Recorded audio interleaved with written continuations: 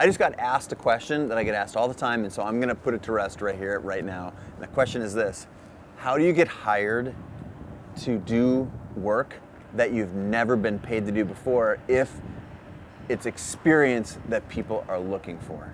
You can have it. World famous photographer Chase Jarvis. Purecast, exactly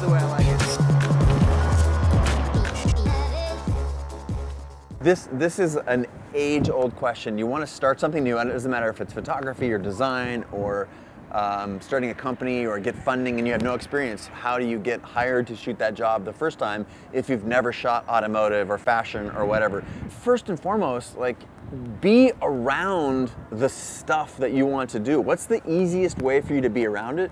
To volunteer, to be an intern, to show up at meetups. I, have talked about this before. This is a no-brainer. You have to actually start spending time around the stuff. You can't go from zero to 100 miles an hour. You can't go from zero to one, let alone zero to 100 miles an hour by being completely removed from a community. It just, it just doesn't happen. Whether it's sweeping the floors or volunteering, or you just have to put yourself in a position to win. Put yourself in a position to be a part of the conversation. Put yourself in a position to learn. You have to actually put your own time in to create proof points. So proof points, they, they can be any myriad of things. Let's use the photography example. Proof points are you fund your own portfolio of fashion photography.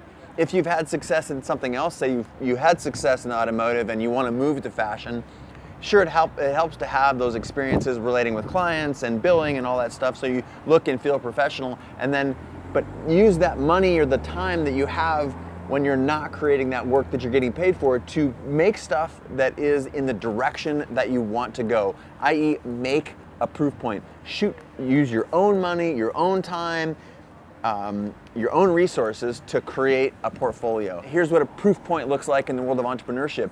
Build a product, have a prototype, get 10,000 people using it and show crazy engagement. If the idea that you have costs so much money that you can't create proof points, then don't do that idea.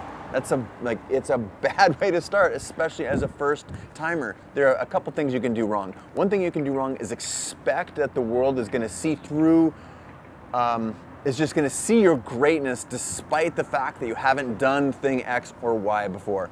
Bullshit. If someone's gonna hire you on a high paying photo shoot, for example, imagine like they're gonna get fired if this doesn't go well. So you have to be able to show these proof points and arrogance of not being willing to put in the work and build a new portfolio in a different area of photography, that's you're just never going to get there on the expectation that someone should make a bet on you without you actually proving yourself. And I'm saying it's a bad idea too because what if you what if you suck?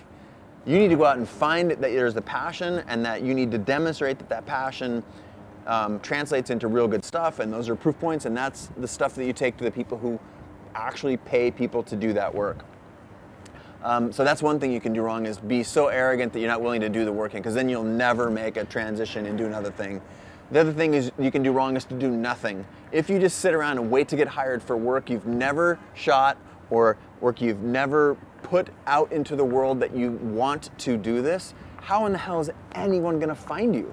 They just they're not going to know that you care. It's like some um, venture capital firm is not going to parachute in and give you $5 million to, to chase your idea. You have to be a part of that community. You can't just expect that something's going to happen from nothing. So um, those are two things that I think I, I, people, I see people make those mistakes. They expect more than they should and then they think that if they do nothing that somehow their dreams are going to happen. Just a couple of very simple facts. One is you have to be present, and two, you have to do the work. Oh, that's it for today. You can have it if you want it. It's gratis, it's for free. There ain't no strings attached, no, there ain't no catch. Take my love, take my love, take me.